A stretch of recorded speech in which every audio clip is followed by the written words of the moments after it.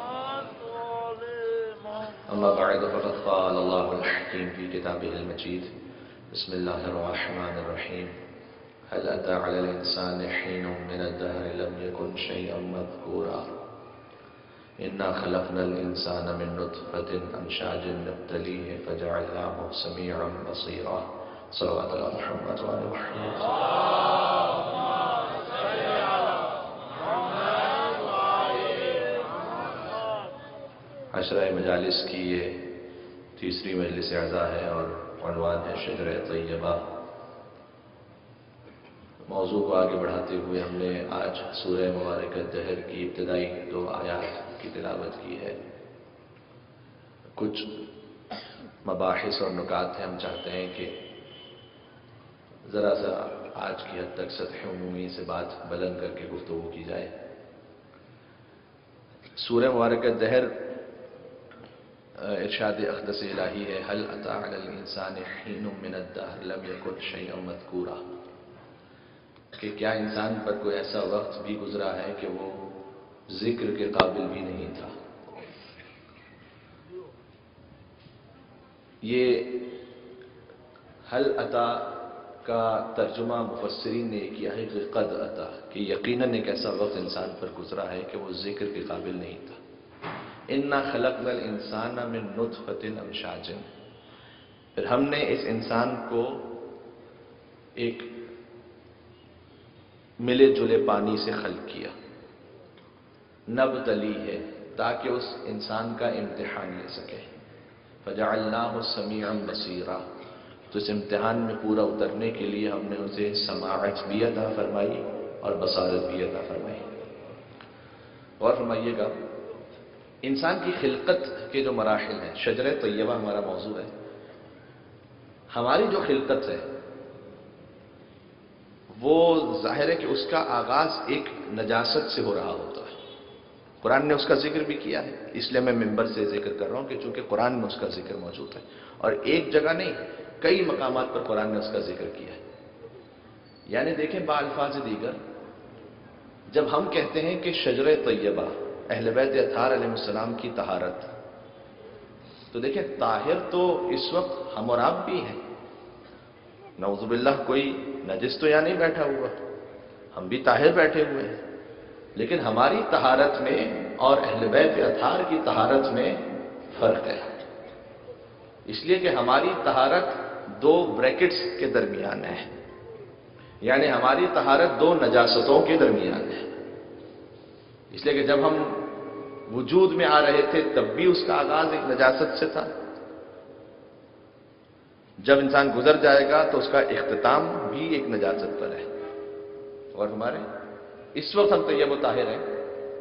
अल्हम्दुलिल्लाह, पाक साहब, आप सब यहाँ तशरीफ़ फरमा है बहुत से इंशाल्लाह बावजू तशरीफ़ फरमाओगे। कोशिश कीजिए कि मजलिस में बावजू तशरीफ़ लाए। इसके अलग रूहानी असरात हैं।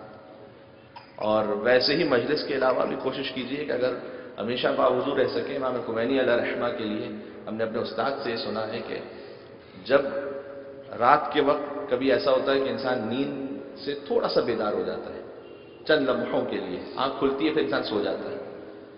तो उनके लिए हमने सुना अपने उस्ताद से कि अगर चंद लम्हों के लिए भी उनकी आँख खुलती थी तो वैसे ही नहीं सोते थे। पहले जाते थे, वज़ू फरमाते थे, फिर आकर सोते थे। इतनी तहारत का ख्याल करते थे। तो देखें इस वज़ू से, इस गसल से अल्लाह सुबहान तला ने हमें ताहिर किया है। ला इलाहा ने हमारे ज़ाहिर को पाक किया है। मोहम्मद रसूलुल्लाह ने हमारे ईमान को पाक किया है। अली वलील्लाह ने हमारे बातिन को पाक किया है। खुम्स जक़ात ने हमारे माल को पाक किया है। तो हम भी पाक हैं, लेकिन हमारी जो तहारत है वो दो ब्रैकेट्स के दरमियान, दो नजासतों के दरमियान है। जब इब्तदा हो रही थी, तब भी अल्लाह सुबहान तला ने फरमाया कि हमने एक मिले जुले हुए पानी से खल किया। जब इंतहा हो रही थी, तब भी ऐसे नजिस के जब तक गसल ना दे दें, उस वक्त तक हाथ भी कोई लगा ले तो उस पर भी गसल वाजिब हो जाता है, गसल मस मैत जब इमाम हुसैन आसमाम दुनिया में तशरीफ़ लाए, हुजूर आते हैं और आगे बढ़कर चाहते हैं कि इमाम हुसैन आसमाम को गोद में ले लें, हज़रत उम्म ऐमन वहाँ मौजूद थी। वो कांपने लगी, इसलिए कि उनके जहन में तस्वुर यह था कि बच्चे की विलादत हुई है, लेकिन अब तक मैंने गसल नहीं दिया है और मैं कैसे कायनात के पाक रसूल के हाथ में इस बच्चे को दे दूँ? तो वो काँप रही थी तो एक मरतबा हजूर ने आलम जलाल में देखा कि उम्म अमन बच्चे को मुझे देती क्यों नहीं हो? तो यार रसूल अल्लाह अभी तक मैंने इसे उस तरीक़ेकार के मुताबिक, जैसे आम बच्चे होते हैं, वैसे उस तरीक़ेकार के मुताबिक मैंने नहीं किया है। एक मरतबा रसूल अल्लाह ने आलम जलाल में कहा कि, ए उम्म अमन तुम उसे क्या पाक करोगी जिसे अल्लाह ने कायनात की तहारत के लिए भेजा?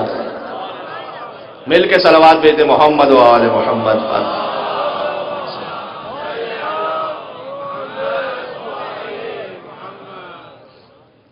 तो उनकी जो तहारत है, उसका मैार कुछ और है। जैसे सदाकत है, हमारी सदाकत का मैार कुछ और है, उनकी सदाकत का मैार कुछ और है। ये जो कुरान करीम में, या युल्लदीन आमन तकुल्ला वकून मासादीन ए ईमान वालों, तकवा इख्तियार करो और सच्चों के साथ हो जाओ। ये यहाँ सच्चों से मुराद क्या है? ये हम आम मोमेंट जो सच बोलने वाला है, वो नहीं। देखिए, आयत है, या युल्लदीन आमनु इतकुल्ला वकून मासादीन ईमान वालों से कहा जा रहा है, सादिकीन के साथ हो जाओ। बहुत तवज्जो कीजिएगा। यानी आयत खुद बतला रही है कि ईमान वाले कुछ और हैं और सादिकीन कुछ और हैं। खुद आयत में मौजूद है ये। ए ईमान वालों, सादकीन के साथ हो जाओ। हमारी सदाकत का मैार कुछ और है। यहाँ जो सादकीन है, वो मैार कुछ और है। हमारी सदाकत का मैार यह है कि आपसे अगर किसी ने पूछा कि जनाब, कल कुमैल महदवी साहब ने तकरीर की थी चौदह करबला में, यानी कि आपने कहा कि जनाब की थी। ये सच्ची हो गई बात? ठीक है।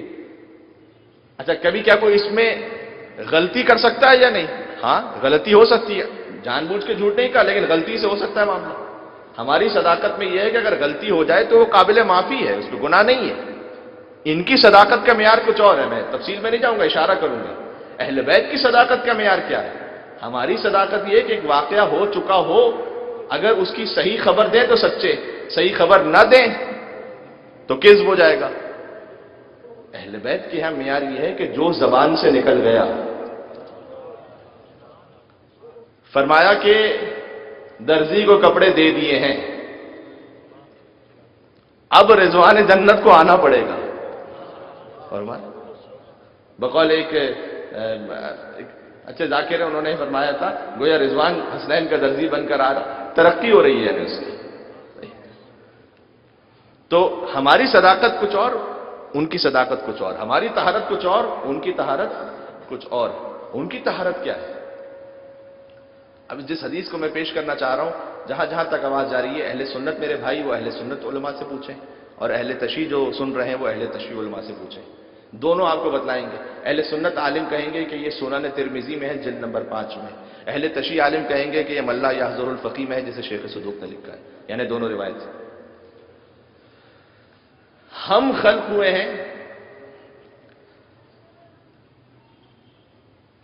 मैं कुरान की आयत पढ़ता हूँ, चले, अपनी जानब से इंसान क्यों कोई ऐसा लफ्ज इस्तेमाल करे? कुरान की आयत।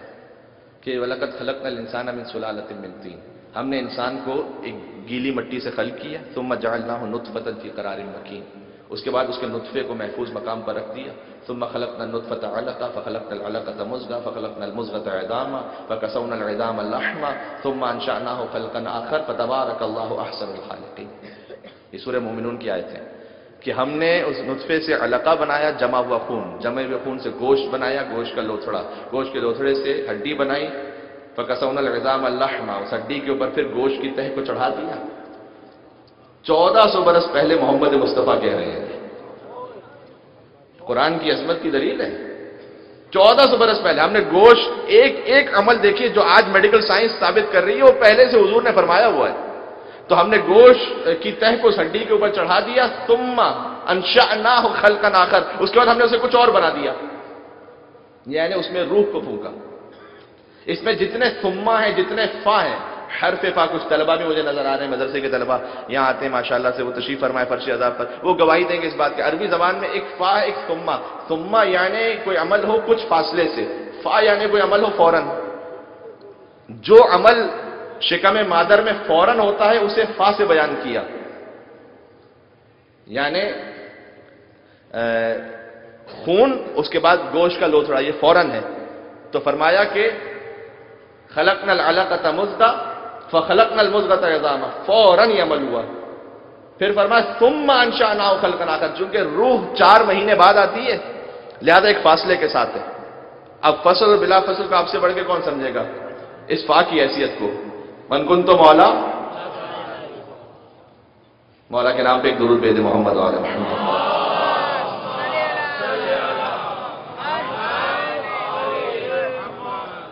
जी, और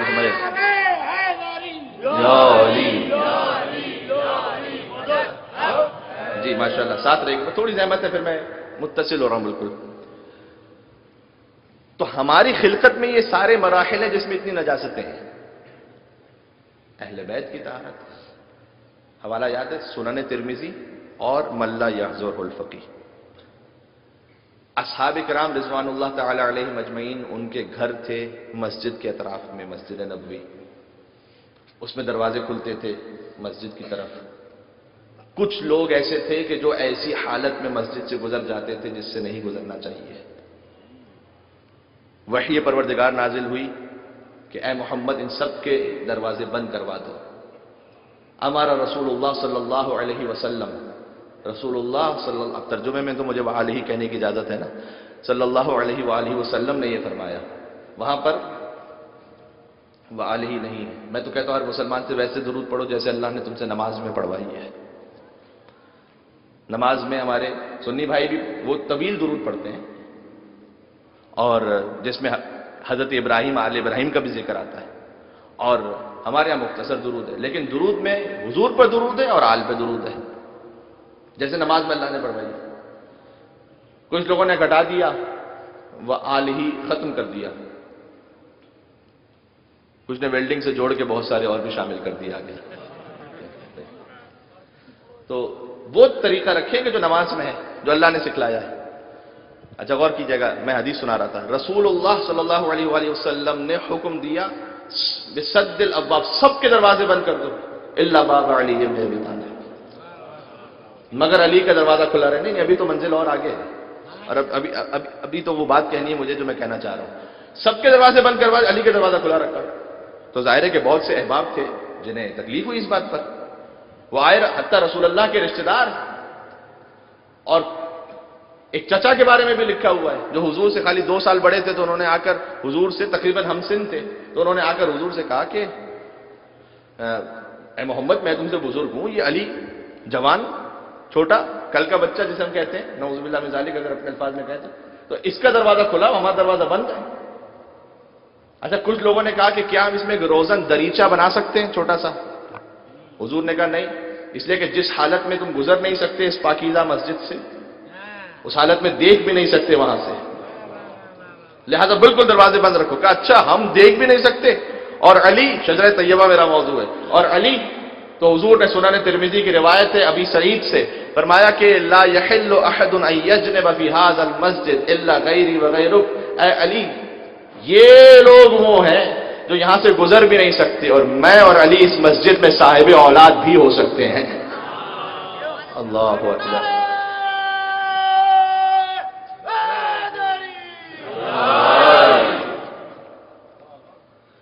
अमीर मोमिन के जो फ़जाइल हैं जो उनका जो आ, उनकी जो तहारत है वो खाली बदर अहद खंदक खैबर तक नहीं है।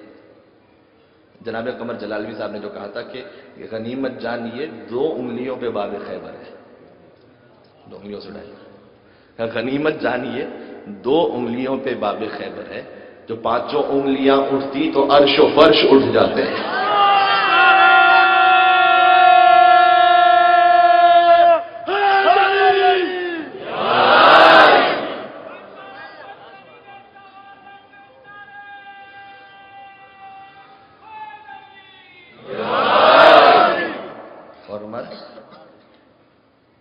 फरमाया कि हम दो हैं, जो इस मस्जिद में साहिब औलाद भी हो सकते हैं और मल्ला यहजुल फ़की में शेख सदूक ने तो आगे रवायत लिखी जो अहले तशी के आए उन्होंने फरमाया कि ला यजन बफी हाजल मस्जिद अना वली फातिमा वल हसन वल हुसैन।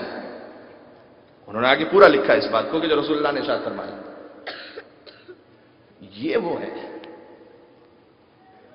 इसी खातिर है, आपने आयत बहुत सुनी है, लेकिन इसको इस अंदाज से इसकी तफसीर थोड़ी समाज फरमाइएगा। सूर्य निसा की आयत नंबर 59 है।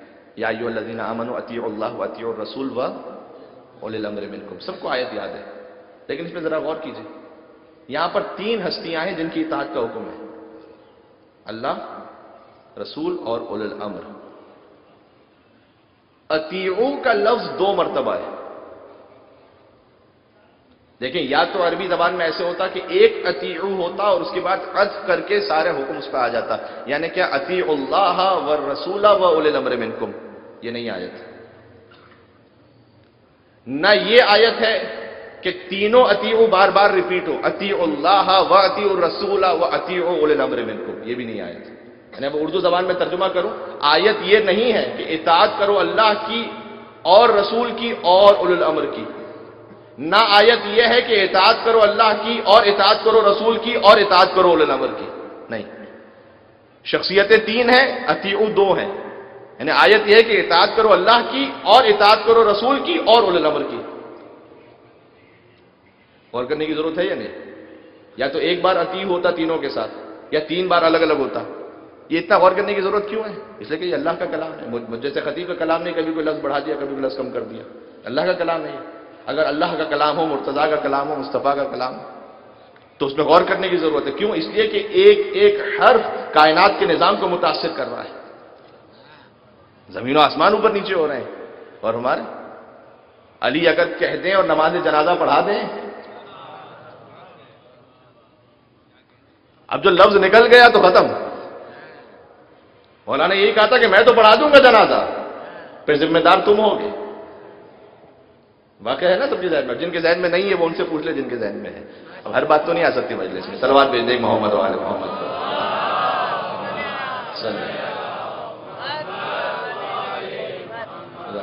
इससे एक बेहतर सलवार भेजे मोहम्मद वाले मोहम्मद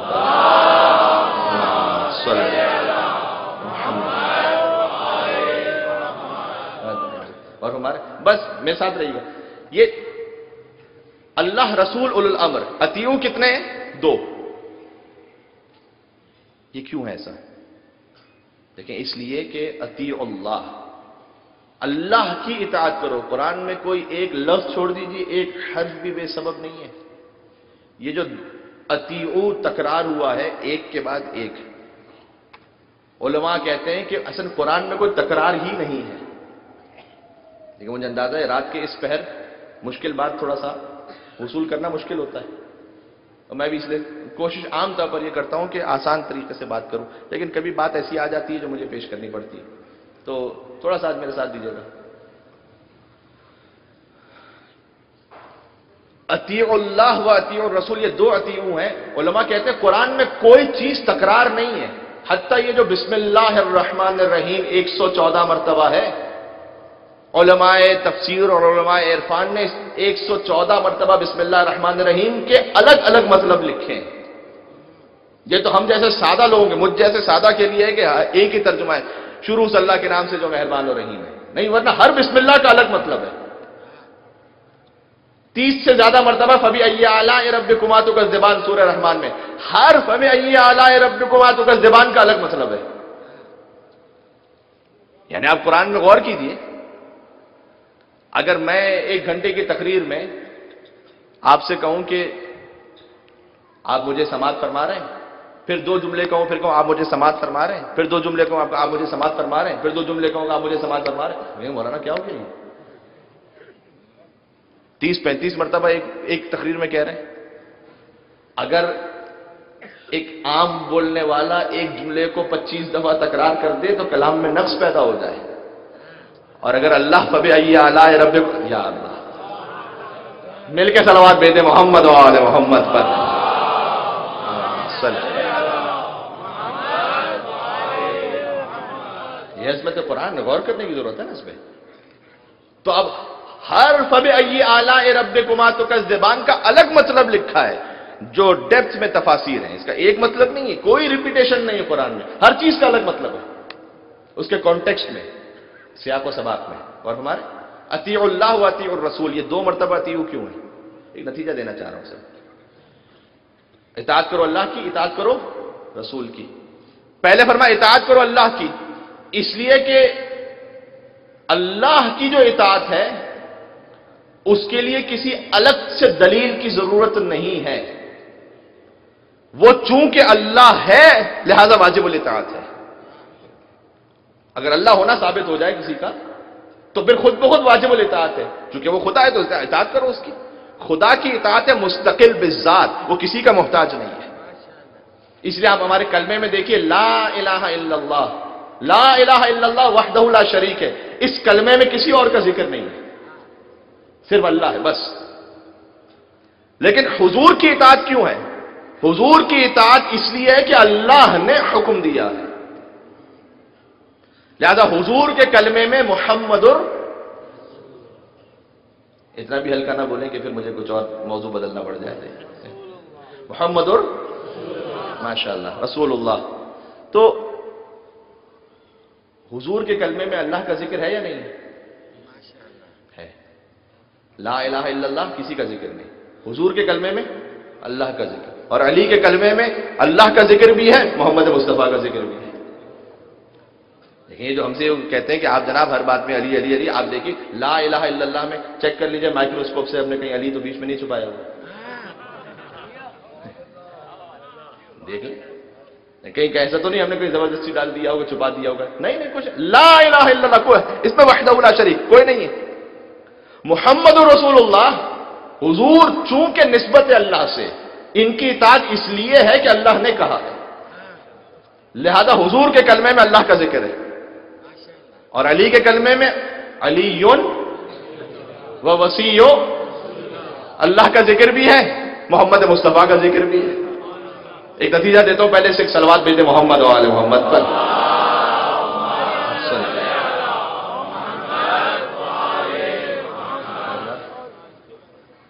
यानी अली का इस कायनात में तीसरा नंबर है। घबरा तो नहीं कर जुमले से? इसलिए कि पहले पर है किबरिया, फिर है मुस्तफ़ा, फिर है मुर्तज़ा। जहाँ तक आवाज़ आ रही शी अकीदा ये है। पहले है किबरिया फिर है मुस्तफ़ा फिर है मुर्तज़ा। यानी मुर्तज़ा से कायनात में दो बड़े हैं। एक अल्लाह बड़ा है एक मोहम्मद मुस्तफ़ा बड़े हैं।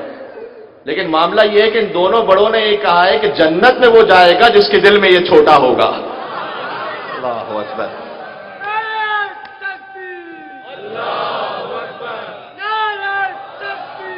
अल्लाह अकबर या रसूल अल्लाह या रसूल अल्लाह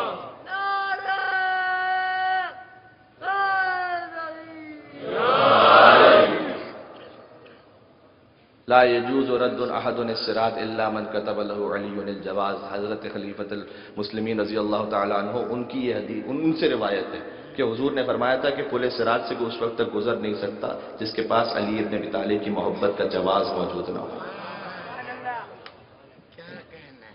तो जन्नत में हो जाएगा अच्छा यानी फिर आयत पर आ जाइए पहले उसे थोड़ा सा डाइसेक्ट कर ले अतीउल्लाह का ये अलग मामला अल्लाह की इतात तो मुस्तकिल है उसमें कोई शरीक नहीं फिर फरमाए वह अती और रसूल। अलग अतीऊ का इजाफा किया। देखो, रसूल की इतात और अल्लाह की इतात, अमल में तो कोई फ़र्क नहीं। जो अल्लाह ने कहा, वही रसूल ने कहा। रुतबे का फ़र्क है खाली। पहला अतीऊ बतला रहा है कि अल्लाह की इतात में कोई और शरीक नहीं है। दूसरा अतीऊ बतला रहा है कि देखो, रसूल की इतात इसलिए है कि हम तुम्हें हुक्म दे रहे हैं। यह एक रुतबे का फ़र्क है। ठीक है? अगर इतनी बात वाजे हो गई तो अब आगे जो आयत बढ़ती है, वह उलिल अम्र मिनकुम, यहाँ किसी अतीहू का इजाफा नहीं है। बात पहुँच रही है? यानी जो इताअत का मैार मोहम्मद मुस्तफ़ा का है, हम ये नहीं कह रहे कि उलिल अमर वो मान लीजिए जो हम मान रहे हैं। कोई ऐसा तो लाइए कि जिसकी इताअत का मैार रसूल अल्लाह की इताअत का हो। कोई जिंदाबाद। मुर्दाबाद।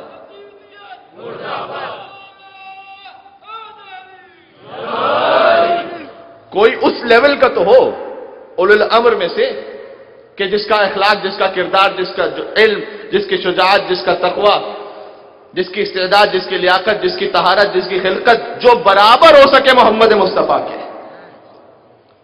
जिन्होंने उल अमर ये लिखा है कि यहाँ बादशाह ने वक्त मुरादें, उनके कलम बिके हुए इसलिए कि अगर हम रदीफ है रसूल अल्लाह की इतात किसी तो क्या उस बादशाह की इतात होगी जिसके दीन ईमान का पता ना हो? नहीं, उल अमर वो है कि जो इतात में रसूल अल्लाह के जैसा हो। उस काबिल हो। ये तो और मुश्किल हो गई। कौन इल्म में, कौन तकवा में, कौन सखावत में, कौन शुजात में ऐसा हो कि जो जिसमें रसूल की शबी आ रही हो। का घबराओ नहीं, कुरान युफसर बाज़ बाजा। कुरान का एक हिस्सा दूसरे हिस्से की तफसीर करता है। हम तुम्हें बतलाएँगे कि कौन है कि जो कुछ शबाहत में रसूल जैसा है। अमन हाज कभी है का मिनल बकुल तबना व अबनाकुम व निसाना व निसाकुम व अनसना व अनफुसकुम। जो नफ्स रसूल बन कर जाए, ऐसे वैसे को कहने का हक नहीं कि हम रसूल जैसे, अली जैसे को कहने का हक। सलावात पर मोहम्मद वाल मोहम्मद।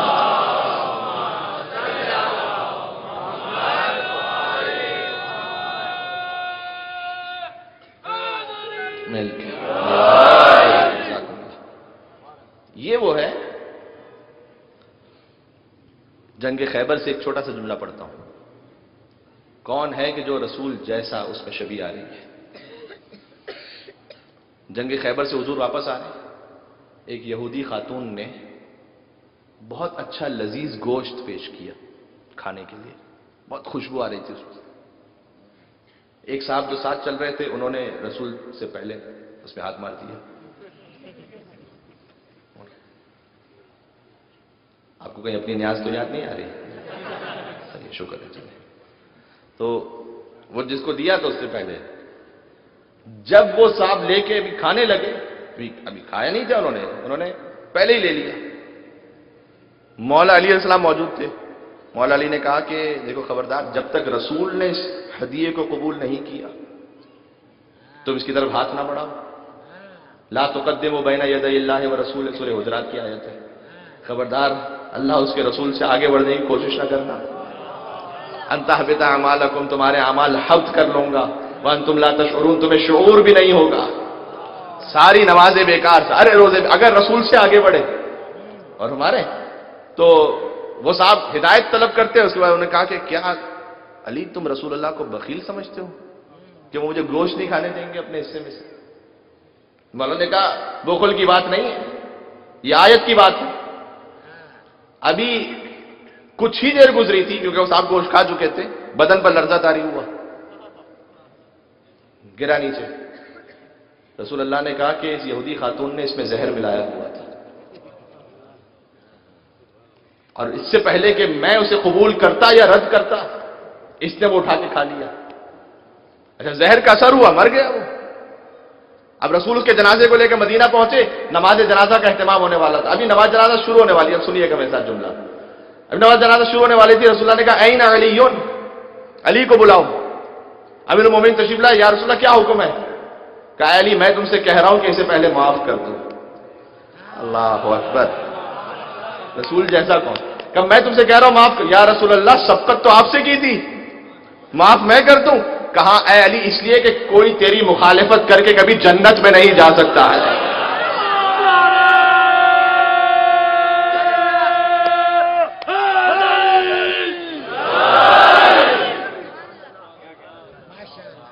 मिलके सलावाद भेजे मोहम्मद वाले मोहम्मद पर।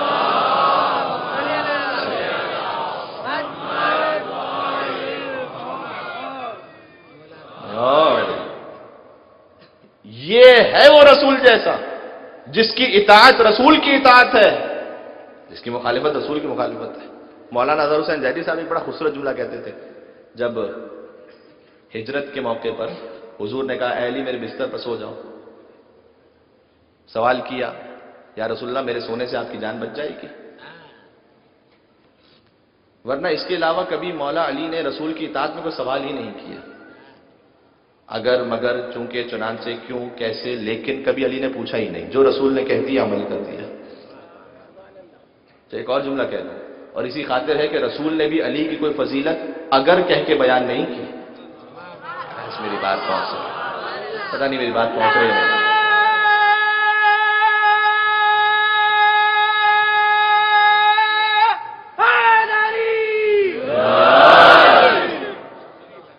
रसूल ने यह नहीं कहा कि अगर मेरा कोई भाई होता तो अली होता।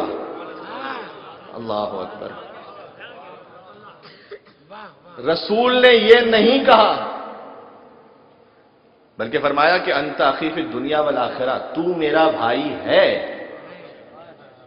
रसूल ने यह नहीं कहा कि अगर जन्नत के जवानों के सरदार होते तो हसन और हुसैन होते।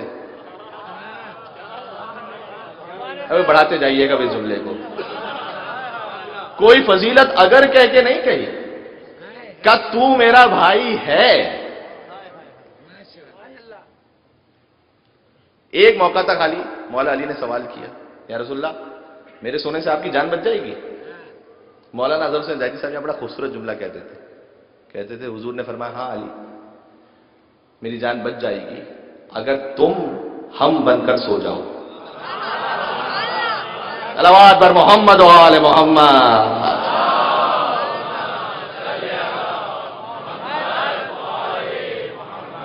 ये नाम मोहब्बत को डुबोया नहीं करते। और जान का खतरा।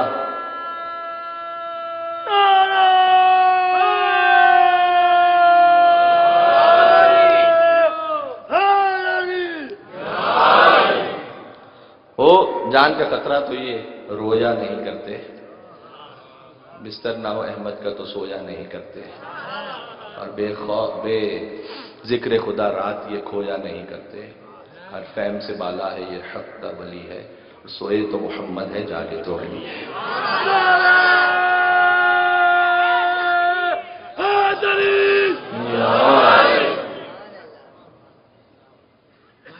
तो वो जो रसूल जैसा हो, ऐसा कि उसकी इतात रसूल अल्लाह की इतात। ऐसा को कोई फिर माने तो फिर बात को आस्ते आस्ते आज के तक इख्ताम पे ले जा रहा हूँ और फरमाइएगा। देखिए, इनको जो अल्लाह ने विलायत अता की, ये विलायत तकवीनन तो है, नफ्स रसूल ने अड़ी तकवीनन विलायत का क्या मतलब है? यानी हर शय से आगे है। इमाम है ना? इमाम का मतलब क्या? जो आगे हो, किससे आगे हो? जो इमाम जमात होता है, वो जमात से आगे होता है। जो कायनात का इमाम है, वो कायनात से आगे है। हर शय में आगे। तकवीनन तो ये आगे हैं, यानी इल्म में, फजीलत में, शुजात में। यानी कोई इन तक पहुँच ही नहीं सकता। हत्या कोई चाहे, कोशिश भी कर ले। याद है? जंग करते हुए मालिक अश्तर के दिल में ख्याल आया कि मैं और अली आज कहीं पर यह है कि बराबर, कहीं पर यह कि एक का फ़र्क है खाली बस। इसलिए कि अच्छा ये एक साहब ने सवाल किया था तो जवाब दे रहा हूँ कि मौलाना, मालिक अश्तर जंग लड़ रहे थे, अमीरुल मोमिनीन भी जिहाद फरमा रहे थे। ये मालिक क्या लड़ते लड़ते देख रहे थे? अली को, कि अली ने कितने कत्ल किए? जब इंसान जंग लड़ा है, वो अली को कैसे देख रहे हैं? इसमें उलमा ने लिखा है कि जब भी अमीरुल मोमिनीन हालत, जंग में किसी को कत्ल करते थे तो बस सदाए बुलंद नारे तकबीर अल्लाह अकबर बुलंद करते थे। और मालिक गोया उसे सुनते जा रहे थे और याद रखते जा रहे थे। और हमारे? तो बस फरमाया कि मौला, आज तो एक का फ़र्क है। याद का बराबर हो गए। अभी तो कुछ कहा नहीं था, फरमाया भी नहीं। दिल में ख्याल आया। जो इमाम है, वो तकवीनन आगे है। कोई उससे पहुँच ही नहीं सकता। कमाले, खबरदारी, ख्याल नहीं, दिल में आना चाहिए। कमाला।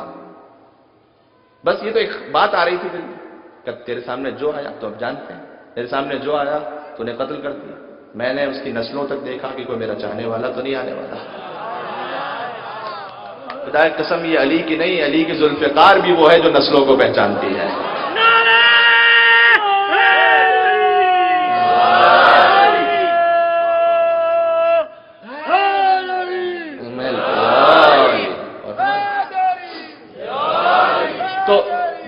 तकवीनन आगे है।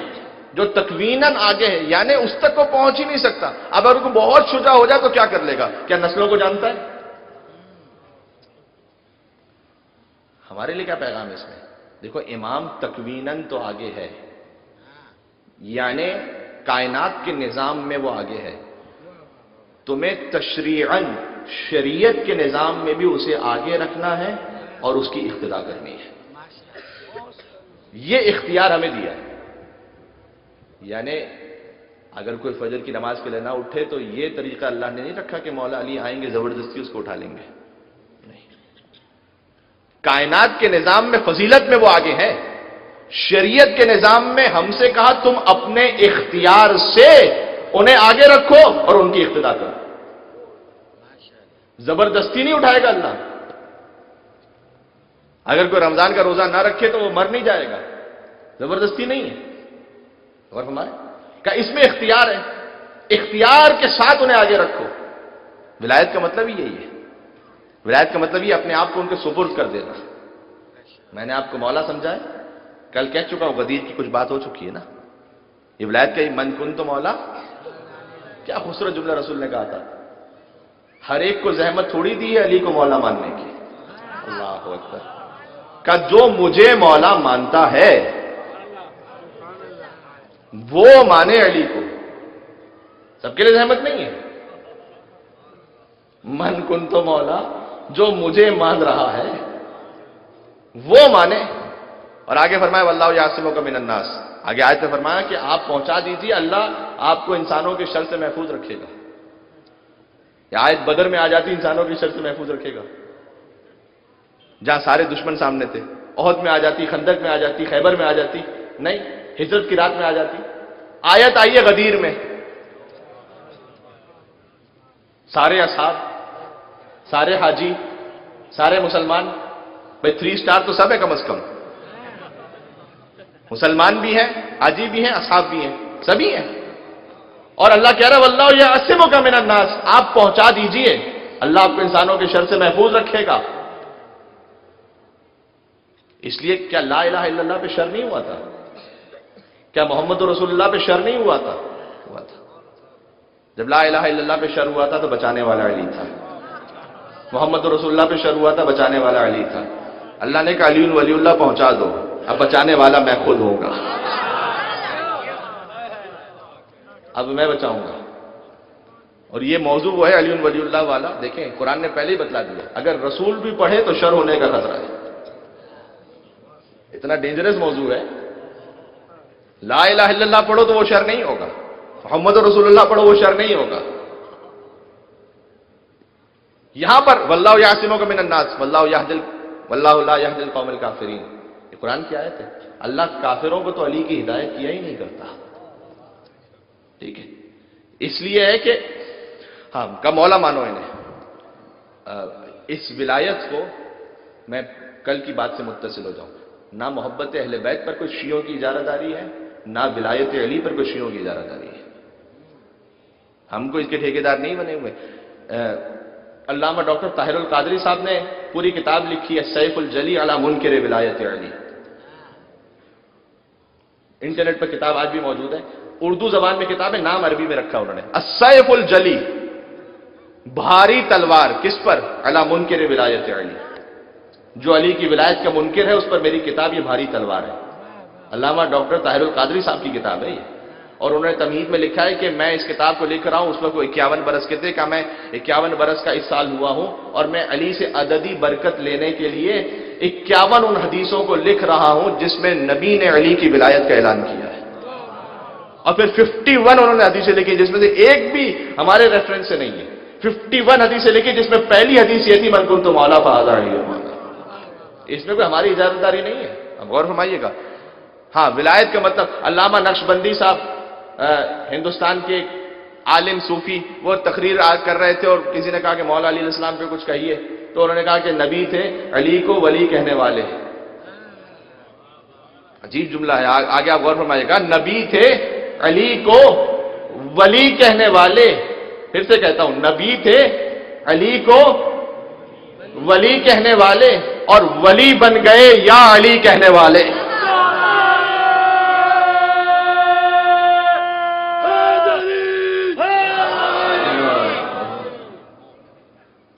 उन्होंने इक्यावन हदीसें लिखी, लामा डॉक्टर ताहिरुल कादरी साहब ने। जब उनसे किसी ने पूछा कि आप अहले सुन्नत में से का सौ फ़ीसद। का फिर भी अली अली करते का सौ फ़ीसद। का अली और बाकी असाब में फ़र्क है? का सौ फ़ीसद।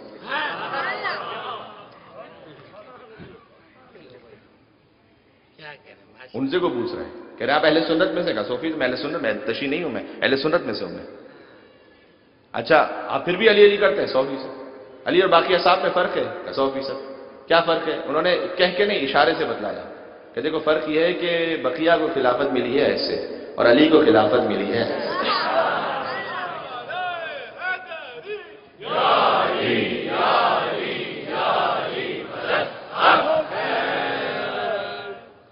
तो विलायत तो है उनके पास, तकवीनन वो आगे हैं। हमें शरीयत में उनको आगे रख के उनको फॉलो करना है।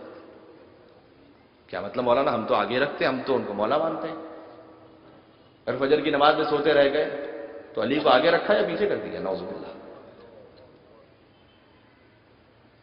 देखिए मैं नमाज़ का हर साल इसलिए कहता हूँ, मुझे अंदाज़ा है कि बहुत बड़ा जवान तबका वो यहाँ पर आता है और आप मुझे इज़्ज़त अदा फरमाते हैं और आते हैं इस अदा पर। सुनने के लिए। इसलिए मैं गुजारिश करता हूँ। मुहर्रम में तो मुझे पूरा यकीन है कि इंशाला आप पाबंद रहते होंगे। लेकिन सारा साल की बात। देखिए जो मजलिस में आए और नमाज़ ना पढ़े, वो वैसा है कि नारे किसी और के साथ लगा गया, वोट किसी और को देकर चला गया।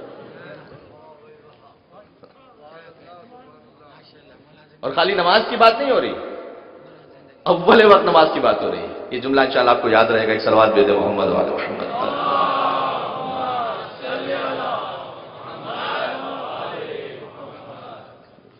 इसलिए अव्वल वक्त। इसके बहुत रूहानी असरात हैं। कोशिश कीजिए कि इस पर ज़रूर अमल करें। हर हर ज़िंदगी के पहलू में इमाम को हमें आगे रखना है। जो वो कह रहे हैं। खासतौर पर जितने जवान यहाँ मौजूद हैं, एक जुमला मुझे और ज़रूर कह देते हैं। जहाँ नमाज़ इबादात में सबसे अहम है और हुकूक नास में वालदेन का हक। ये दो चीज़ों की आप रियायत कर लीजिए, आप यकीन फरमाइए आपकी दुनिया ही में अल्लाह जन्नत बना देगा। ये मैं आपसे, मैं, मेरी क्या हैसियत में ज़िम्मेदारी लूँ? मैं हदीस से ज़िम्मेदारी ले रहा हूँ आपसे, जो इमाम का कलाम है। एक नमाज़ के अव्वल वक्त में पाबंदी, कदा तो करनी नहीं है, लेकिन अव्वल वक्त जहाँ तक मुमकिन हो आपके लिए। और दूसरा वालदेन की तात आगे मरशी नजफी कितने बुज़ुर्ग आले में कितनी मरतबा इमाम जमाना सलाम की खिदमत पहुँचे। मौला के नाम पर दुरूद भेदे मोहम्मद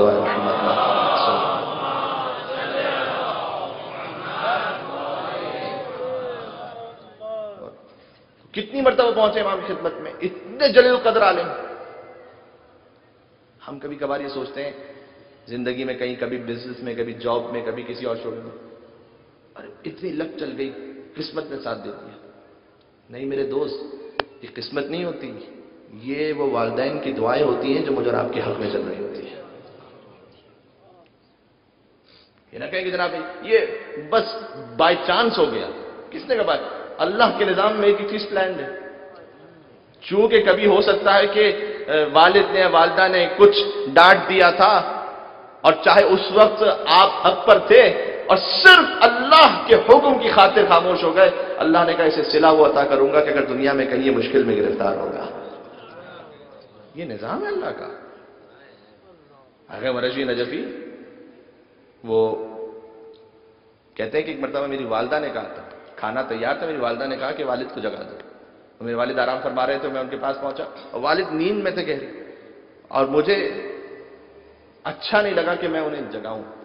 दूसरी तरह से वालदा का हुक्म भी था कि जगा दो।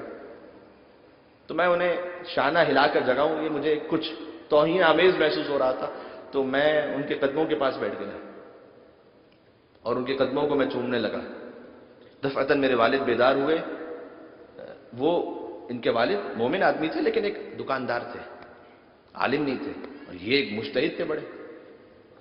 इन्होंने अपने बेटे को सीने से लगा दिया और बहुत दुआएँ दी। कहा, बेटा, तूने ये किया? कहा, बाबा, आप आराम फरमा रहे थे। अल्लाह मरशी नजफी कहते हैं कि आज मैं जो कुछ हूँ, मुझे लगता है कि मेरे बाप की उस दुआ की वजह से। वो जमल मैंने उस वक्त किया था। हाँ इतना ज़रूर है कि इस्लाम में दो तरफा है, जहाँ पर वालदेन के हकूक हैं, औलाद के भी हकूक हैं। बड़ों का एहतराम है छोटों से शफकत है। ये दो, क्योंकि जब इतने सुनने वाले होते हैं तो हो सकता है कहीं वालदेन वाकई कोई बहुत कोताही कर रहे हों। तो दोनों तरफ़ से बात करनी चाहिए।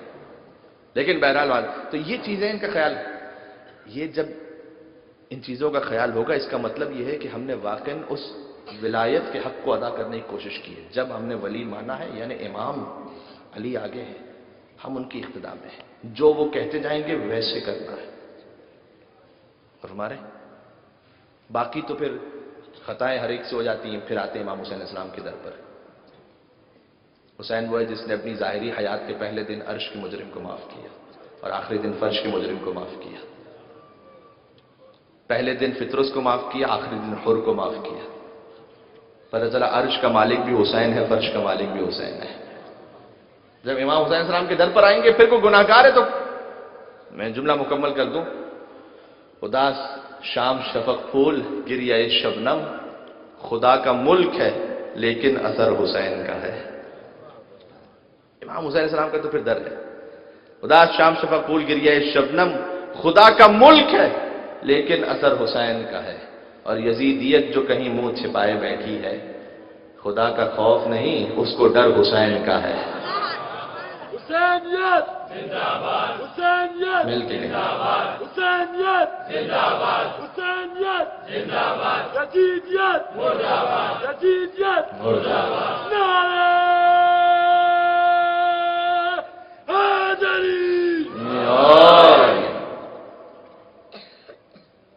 यजीदियत जो कहीं मुँह छिपाए बैठी है खुदा का खौफ नहीं उसको डर हुसैन का है और बता रहा है फिजा में अलम का लहराना। अल्लाह अकबर। आप कहीं से गुजर रहे हैं, पचास करोड़ का एक बंगला हो, क्या अदब से झुककर सलाम करके गुजरेंगे? पाँच सौ रुपए की एक झोंपड़ी हो और उस पर गाजी का अलम लगा हुआ हो।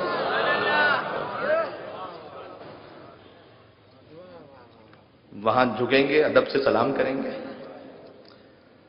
बता रहा है फिजा में अलम का लहराना। लोग कहते हैं कि तुम्हारे घर के ऊपर गाजी कलम होता है। मैं कहता हूँ, गलत। गाजी के अलम के नीचे हमारा घर हुआ करता है। सलावात पर मोहम्मद वाले मोहम्मद।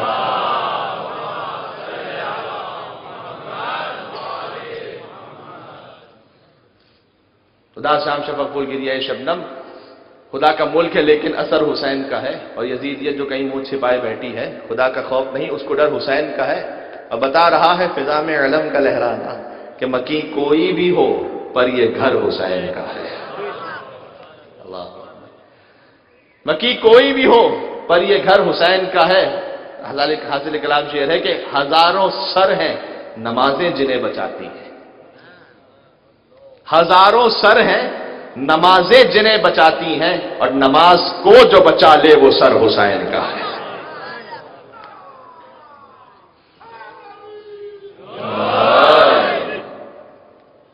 ये वैसे नारा हैदरी या अली कहेंगे, सवाब तो है मौला अली इस्लाम का नाम लेने में।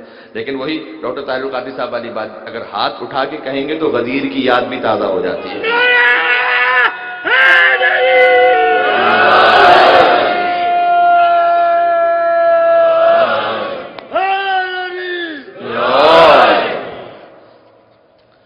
ये अमीर मोमिन इस्लाम की विलायत विलायत का मतलब यह है कि मैंने अपने आप को उनके सुपुर्द कर दिया। अब जैसे मौला आप चाहें।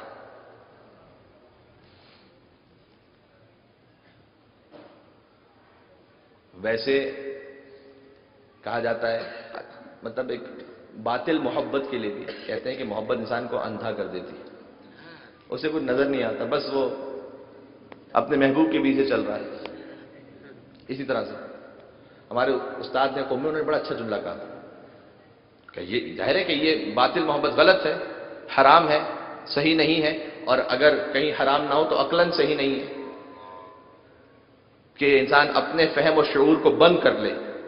इंसान अंधा हो जाता कि अपने फहम और शूर को बंद कर ले, बस बिला वजह पैरवी करता रहे। हमारे उस्ताद मोहतर में कहा, क्यों ना इंसान ऐसों से मोहब्बत करे कि जितना आँखों को बंद करके बस फॉलो करता चला जाए, उतना ही उसका मकाम बढ़ता चला जाए?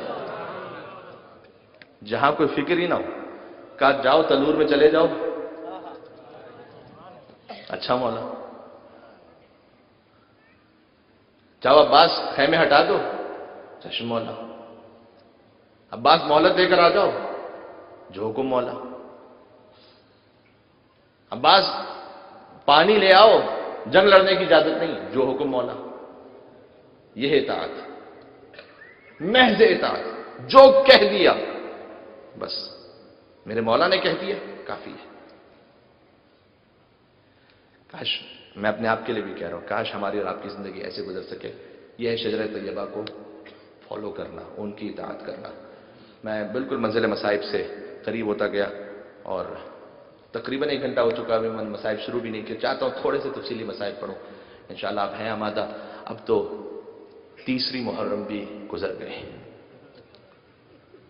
चौथी मुहर्रम की शब आ गई। आहिस्ते आहिस्ते दिन गुजरते चले जा रहे हैं और हम आशूर से करीब होते चले जा रहे हैं। कल से बनी हाशिम की कुर्बानियों का ज़िक्र है। कल मैं चंद शहजादों का ज़िक्र करूँगा। जैनब के और मोहम्मद का ज़िक्र होगा। हो सका तो इंशाला तिफलान मुस्लिम का ज़िक्र होगा। तो आज चाहता हूँ कि कुछ असहाब इमाम हुसैन पर गुफ्तु हो जाए।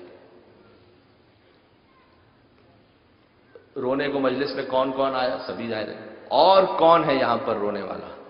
जिनकी रूहानी और नूरानी हैसियत वो है कि जिसकी वजह से मजलिस अदा कबूल होती है। इराक के एक आलिम इंतहा शरीर से खस्तगी महसूस कर रहा हूँ। बस मैं पढ़ता रहूँगा, जिसे जैसे तोफीक होती जाए, वो रोता चला जाए। इराक के एक आलिम में बयान फरमाते हैं, एक खातून थी, मोमिना खातून इराक उनकी एक बेटी थी। माँ और बेटी दोनों मिलकर आशूर के दिन मजलिस करते थे। बेटी का इंतकाल हो गया और बूढ़ी माँ रह गई। आशूर का दिन आया, कोई मुनासिब इंतज़ाम कर ना पाई, बहुत बूढ़ी थी। बस घर में बैठ गई। या हुसैन या हुसैन कहती रही। और कहती जाती थी कि मौला, आज आशूर का दिन है, मेरे घर मजलिस है, लेकिन तू कितना गरीब है। इस वक्त कोई जाकिर भी नहीं, कोई जाकिरा नहीं जो तेरे मसाइब पढ़ सके। बस खुद ही या हुसैन कहती थी, थोड़े मसाइब पढ़ लेती थी। मसाइब तो आप में से सभी को याद है ना? कहते हैं, सुबह का वक्त सुबह आशूर दक्कुल बाब हुआ। उस मोहतरमा ने दरवाज़ा खोला, देखा कि निकाब पोश बीवी हैं। वो आकर कहती है कि मैंने सुना है, तेरे घर हुसैन की मजलिस है। इसी खातिर है कि मजलिस की कबूलियत का ताल्लुक इससे नहीं है कि कितने तादाद में है। आप यहाँ, माशाल्लाह, हज़ारों की तादाद में और जहाँ जहाँ तक आवाज़ जा रही है, हज़ारों लोग इस मजलिस को सुन रहे हैं। लेकिन कबूलियत किसमें है? कोई एक भी ऐसा हो जो वाकन या जहरा कह के हुसैन को गुस्सा दे रहा हो। और आप इंशाला सभी वो हैं, और आपके तसदुक इंशाला मेरी नौकरी भी मौला कबूल फरमाएँगे। और फरमाए, जैसे ही, बीबी ने कहा "हाँ जी, तशरीफ़ लाइए आज माँ हुसैन की मजलिस है। उस बीबी ने खुद मसाइब पढ़ना शुरू किया। और ये खातून कहती हैं कि वक्त की तरतीब के हिसाब से मसाइब पढ़ती रही वो बीबी। पहले असहाब हुसैन के मसाइब पढ़े, फिर बनी हाशिम के मसाइब पढ़ना शुरू किए, फिर कासिम की पामाल लाश के मसाइब पढ़े, फिर शहजादा अली अकबर के मसाइब पढ़े। एक वक्त आया असर आशूर का कि वो बीबी, या हुसैन या हुसैन या हुसैन कहते हुए रश खा गई। जब कुछ जब कुछ देर बाद इफाका हुआ, उस बीबी ने कहा, तेरे घर मजलिस हो चुकी, अब मैं जा रही हूँ। वो जब बीवी जाने लगी ना तो ये जो मोहतरमा थी, कहते, मैं हमेशा अपने घर में जाकिरा के लिए कुछ ना कुछ इंतज़ाम करती थी। मौला का भी हुक्म है कि हमारे शायर को, हमारे जाकिर को अपनी हैसियत के मुताबिक कुछ ना कुछ अता किया करो। तो कहते, मैं उस बीवी के पास आई, मैंने अपना संदूक खोला, मैंने कहा, मेरे पास ये है, आप जाकिरा इमाम हुसैन है, मैं हदिया देना चाहती हूँ आपको। उस बीवी ने कहा कि, मुझे इस दिए की ज़रूरत नहीं है। मैं आपको देना चाहती हूँ अपनी खुशी से? क्या नहीं, मैं खाली हुसैन की जाकिरा नहीं, मैं हुसैन की माँ फातिमा जहरा.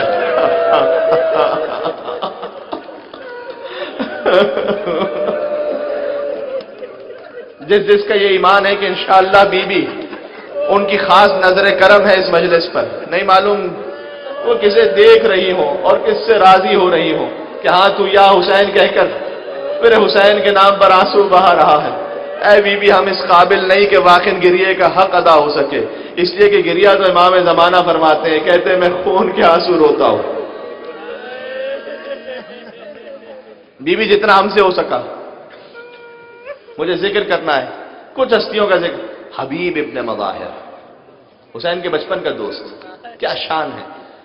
आप में से कितने चेहरे मुझे नज़र आ रहे हैं जो करबला मोहल्ला तशरीफ़ ले गए और इस फर्श के सदक़े में अल्लाह सबको बार बार नसीब फरमाए हबीब इब्न मजाहिर है ना? जब जो इराकी, आप जब देख रहे ना उनकी जरी के पास, क्या दुआ मांगते कहते हैं, सज्जिल जुबार हुसैन। ए हबीब, आप हमें हुसैन के जायरों में लिख लीजिएगा। आप आप हमें बुलाइएगा। गोया हबीब इब्न मजाहिर को, मौला ने ये खिदमत अता फरमाई है कि ए हबीब, जो भी मेरा ज़ाहिर आए ना, तुझे उसका नाम लिखना है। वो हबीब जो बिल्कुल बचपन का दोस्त है, जो हुसैन के साथ साथ रहा है। मजाहिर हबीब के वालिद हैं एक मरतबा मौला, एक मरतबा रसूल अल्लाह को, नहीं, मौला अली सलाम को और हुसैन को दावत दी थी ना घर पे, जब मौला अली और हबीब ने मजाहिर, मौला अली और इमाम हुसैन सलाम पहुँच गए। एक मरतबा मजाहिर आगे बढ़े, अली का हाथ धुलाने लगे, उसके बाद इमाम हुसैन की तरफ़ बढ़े। मौला ने कहा, नहीं, हुसैन इमाम ज़रूर है, लेकिन आदाब का तकाजा यह है कि तुमने मेरा हाथ धुला लिया, अब तेरा बेटा मेरे बेटे के हाथ धुलाए तो खुद ना धुला। क्या नहीं मौला, मैं इस शरफ को हासिल करना चाहता हूँ। क्या नहीं, मैं तुझसे हुक्म दे रहा हूँ तो खुद ना धुला क्या मौला, मुझे शरफ जब इसरार बढ़ता गया क्या मौला, मेरा बेटा हबीब है ना, वो तड़प रहा था कि आका हुसैन आएँगे। वो बार बार पुश्ते बाम पर जाकर, घर की छत पे जाकर, वो देख रहा था, मेरा मौला हुसैन आया या नहीं आया, मेरा मौला हुसैन आया या नहीं आया। यहाँ तक कि एक मौके पर कदम लड़खड़ा गया, वो छत से ज़मीन पर गिर गया, मेरा बच्चा दुनिया से जा चुका है। एक मरतबा हुसैन ने कहा ए बाबा, जब तक मेरा हबीब नहीं आएगा बाबा, उस वक्त तक हुसैन खाना नहीं खाया। हबीब वो है जो हुसैन की दुआ से ज़िंदा हुआ। हुसैन ने कहा, बेटा, तू दुआ कर, हबीब ज़िंदा हो जाएगा। एक मरतबा हुसैन ने गोया। दुआ फरमाई परवर दिगारा तू मेरे हबीब को ज़िंदा कर दे। और इसी खातिर था कि हुसैन ने खत लिखा था। किसी को इस अंदाज से खत नहीं लिखा। मैंने हुसैन इब्न अली इब्न अबी तालिब रजुल फकी हबीब इब्न मदाहिर ये हुसैन इब्न अली इब्न अबी तालिब की जानब से एक दीन को समझने वाले, ये पैगाम है। रजुल फकी कोई हो, हुसैन उसे खुद बुलाएँगे। हबीब इब्न मदाहिर के नाम। वाकयात आप जानते हैं, खत पहुँचा हबीब के पास। लुकमा गुलूगीर हुआ। लगता है किसी प्यासे ने याद किया है, किसी भूखे ने याद किया है। मेरे मौला का खत आया है। आगे लिखा हुआ था ए हबीब मुझ पर एक मुश्किल वक्त आ चुका है।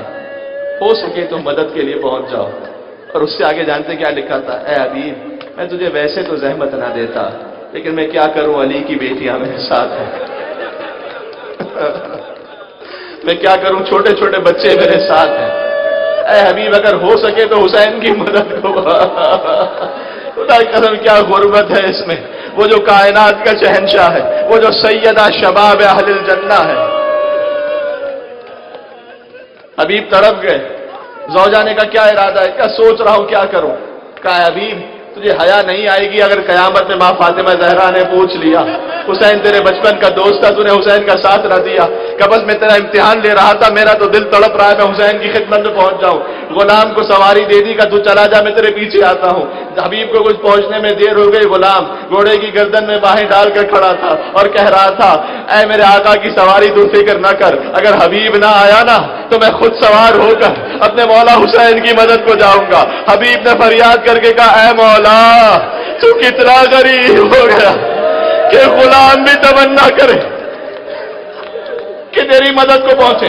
गुलाम को साथ लिया हबीब का गुलाम भी साथ हुआ। जैसे ही पहुँचे हुसैन के, लश्कर में नारे तकबीर बुलंद हुआ। जैनब कुबरा ने बुलाकर कहा, अम्मा फिजा, ये कैसी आवाज़ है? का बचपन का दोस्त हबीब पहुँच गया। का एक मरतबा ओन मोहम्मद को बुलाया।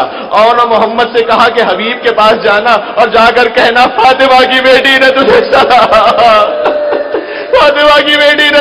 सलाम कहा है। एक मरतबा हबीब ने करबला की खाक पर रखी।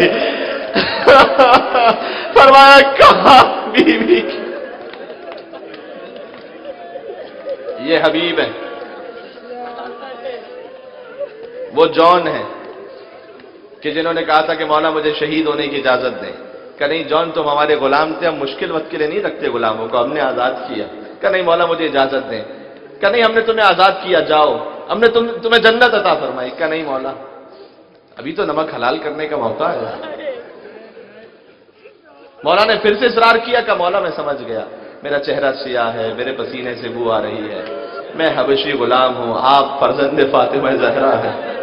मेरी क्या मजाल है, मौला, कि मेरा खून आपके खून से मिल सके। एक मरतबा मौला ने कहा कि नहीं, मेरे नाना ने तफरी खत्म कर दी थी। ये तफरी खत्म है। सब तकवा में आ रहे जाओ। एक मरतबा जॉन भी चले, जिहाद किया ज़मीन करबला पर गिरे। कमौला मेरा आखिरी सलाम। हुसैन पहुँचे जॉन के सर को गोद में लिया। जॉन ने सर ज़मीन पर रख दिया। फिर गोद में लिया, फिर सर ज़मीन पर रख दिया। कि जौन मैं तेरा सर गोद में रखता हूँ तो ज़मीन पर क्यों रखता है? कमौला ये फातिमा की बेटे की गोद है।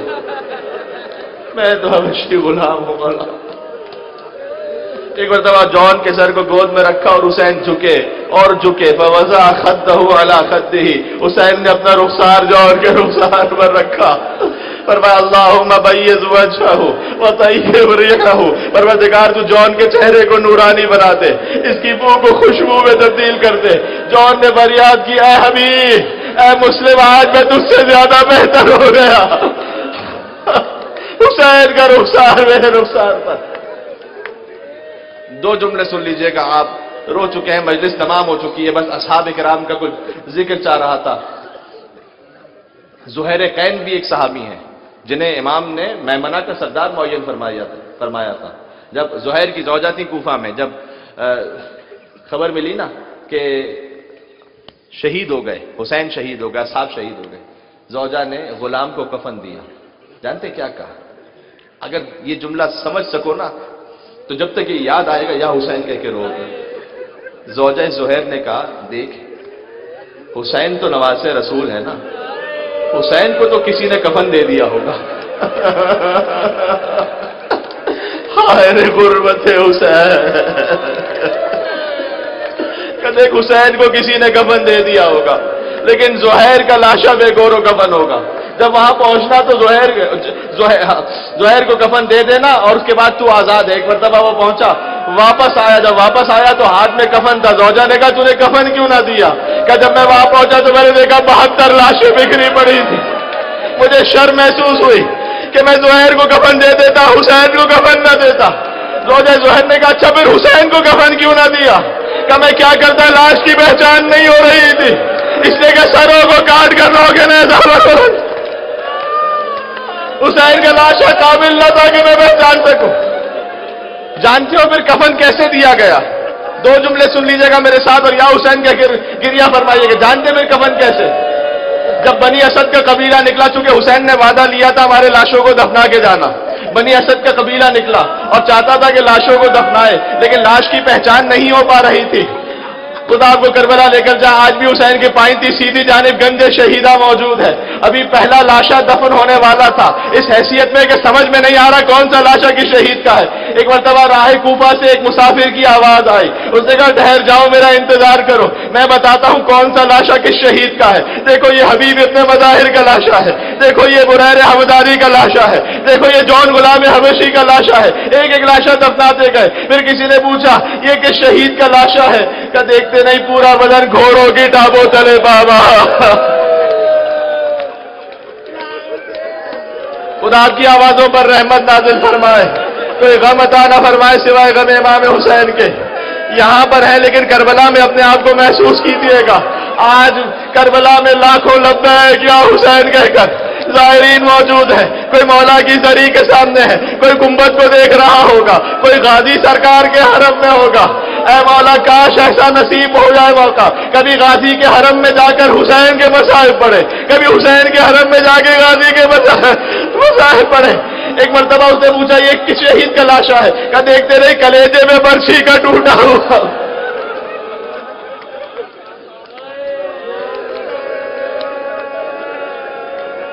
एक लाशा बाकी रह गया। अच्छा ये किस शहीद का लाशा है? मौला बैठ गए। कहा है मेरा बाबा।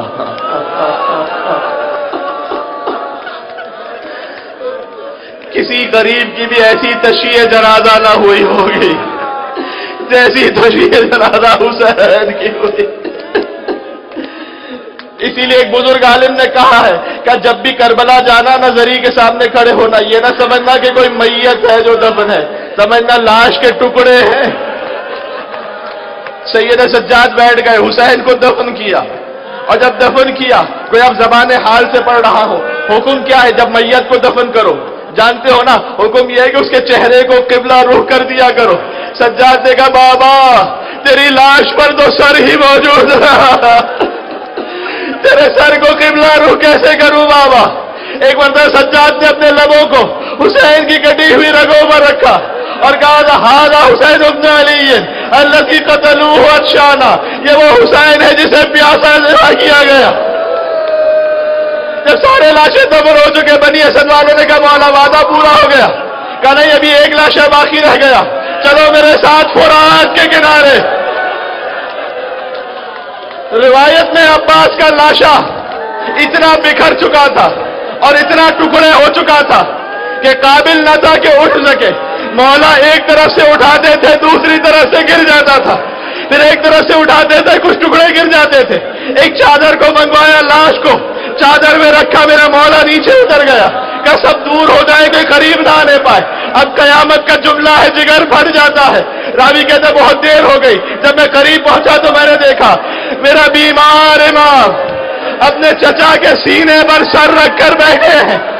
और फरियाद कर रहे हैं कि है मेरे गैरत मातम करना है मेरे गैरतमंद चचा। आप तो यहाँ आराम कर रहे हैं। मैं आपको आपकी बहनों की हालत बतलाने आया हूँ। खुदा ने जो इम्तिहान आपसे न लिया, वो आपका भतीजा सैयद सज्जाद दे रहा है। आपकी वो बहनें जो कभी घर में भी बेमकना चादर न हुई, आज कूफे का बाज़ार है, मुनादी निदा दे रहा है। ये फातिमा की बेटियाँ हैं। जैनब के सर पर चादर नहीं है। और ऐ चचा, जिस बच्ची के लिए पानी लेने गए थे, वो तमाचे तमाचे या हुसैन गैरत सजा।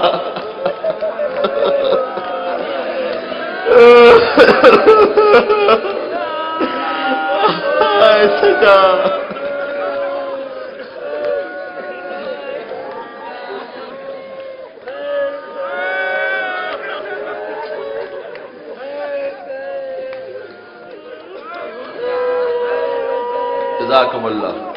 यही गिरिए का हक है। मौला हुसैन सलाम पर नहीं मालूम कौन अगले बरस तक है या ज़िंदा नहीं है। यही वो रातें हैं जो गिरिए गिराते हैं, जितना इंसान रो सके या हुसैन कह सके।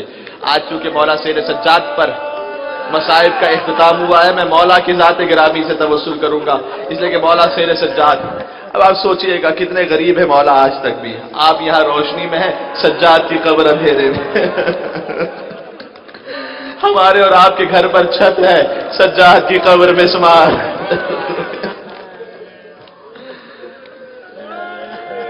बिस्मिल्लाहिर्रहमानिर्रहीम या अबल हसन या अली अब्न हुसैन या ज़ैन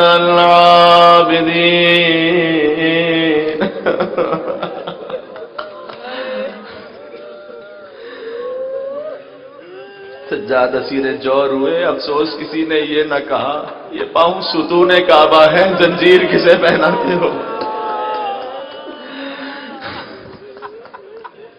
हुज्जत खुदा हो और हाथों में हथकड़ियाँ हो। हुज्जत खुदा हो और गले में तोप हो। या जैन आबिदीन।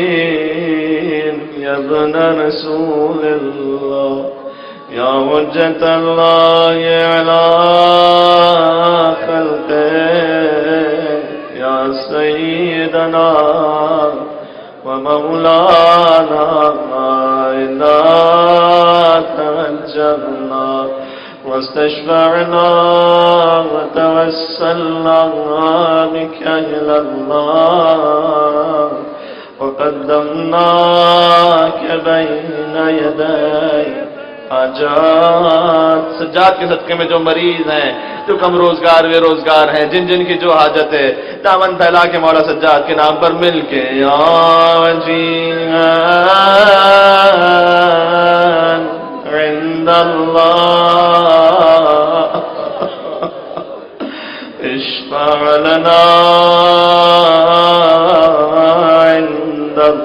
इतना बड़ा वजमा और बेहतर या जी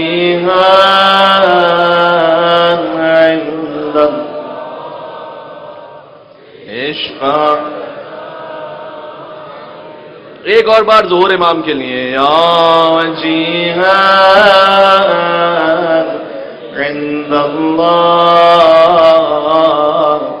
इश्फा लना